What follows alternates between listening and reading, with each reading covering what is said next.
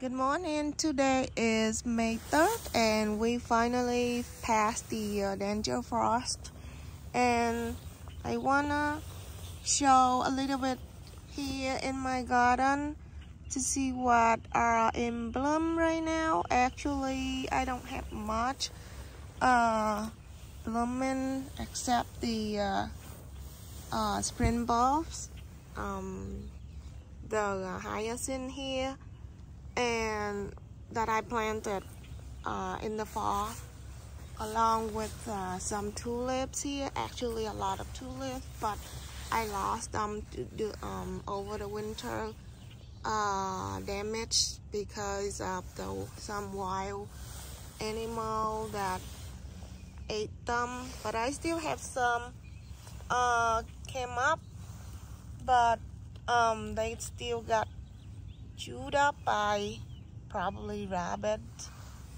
Um, as you can see here, uh, here, see? So I don't think I have tulips this year and probably I'm not gonna grow tulips anymore because uh, see you can see they passing by see the deers um, because of um, the deers and rabbit uh, will eat them um, I got here some cock cockroach and uh, here the yellow one right there. Um, and I just uh, planted some salvia and lavender in and the marigold. Um, so that's it about this corner and um and here too. I got the side garden here in my front yard. And I got the uh, Drift uh, rose. The, this one is a popcorn Drift rose. Um, I just planted here.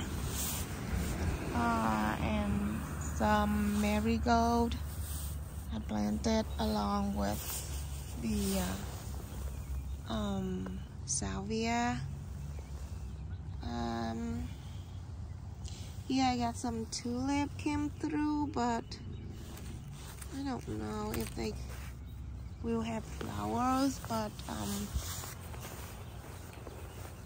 I got some daffodil planted in the fall too and they are not blooming yet.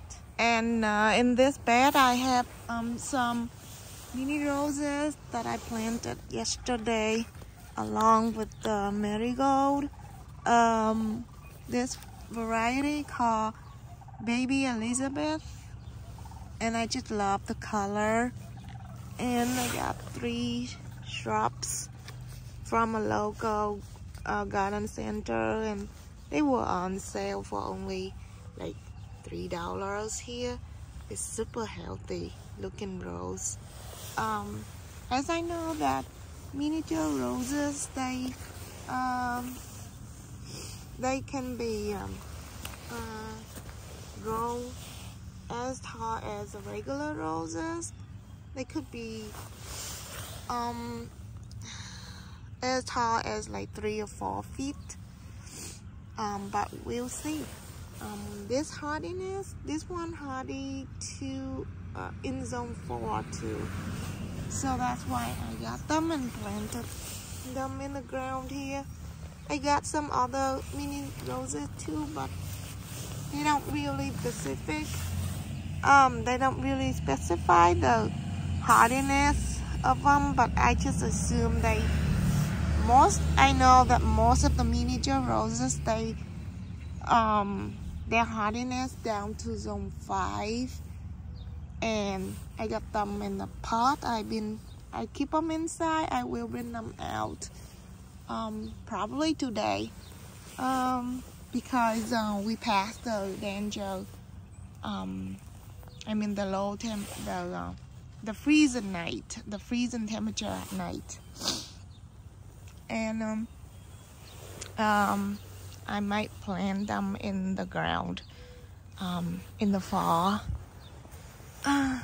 Um, so that's it about this Sayab garden bed. And the daffodil got um, a lot of buds here that they are ready to open anytime soon.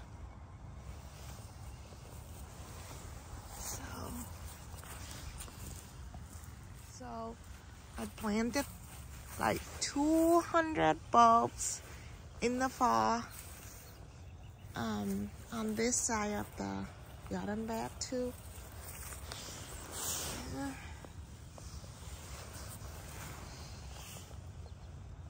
So probably a few more days they will uh, plum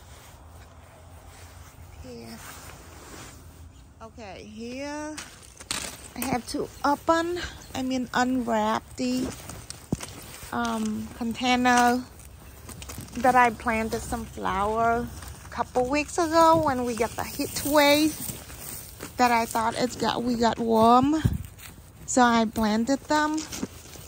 Um, but unfortunately we got the cold snap again and that's why I've been covering them um, I got some I think I got that yeah I got the video oh my god I got some so much damage of the uh, the begonia. Anyway, um, uh, I I got the video about this a couple weeks ago already, and I probably had to switch out some flower, some ranunculus. I have to switch them out with something else in this container. This container. Okay.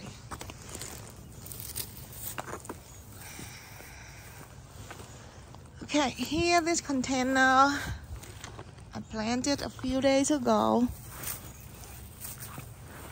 But I cover them at night this one called Black, Black Pearl, Heuchera. And I got some Dianthus, the coral one, and some Alyssum, and Diamond Frost, Salvia, and I got Verbena, the white one and I got the um, um, petunia. Uh, this one called latte, latte petunia. Um, hopefully they will spread more and traveling down the um, the container. Uh, same, same, same as this one too, the diamond frost.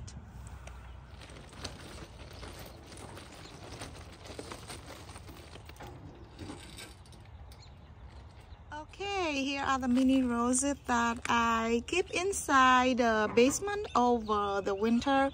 And um, uh, this geranium I just bought for my son because he wants to plant his own uh, flower pot. So this is his flower pot. And uh, these mini roses, um, I got it from Trader Joe's over the winters. And um, uh, they they am, am amazed that they doing very good and actually they are sending out their second flush here um, this coral pink second flush and this hot pink second flush as well. And this one uh, is nothing blooming yet but they got buds and the second uh, flush. So it is the same color as this one coral pink.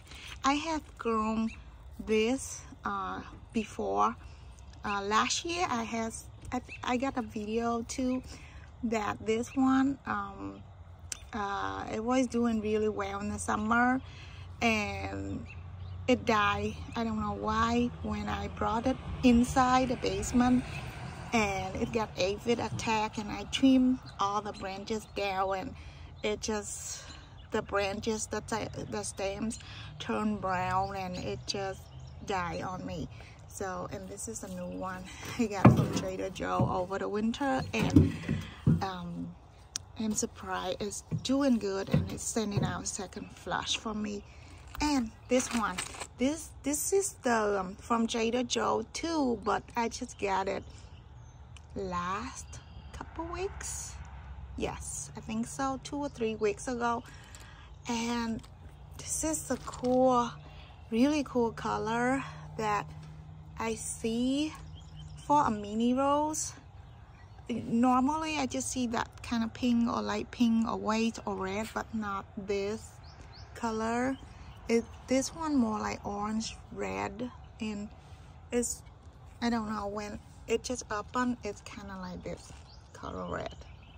Hope the camera picks it up but this kind of red. And then and then it faded out to this orange pink uh, color and yeah this is a new bloom see? And this is the old bloom old bloom. So this is so pretty. The temperatures um warm up now so they are ready to be outside. Okay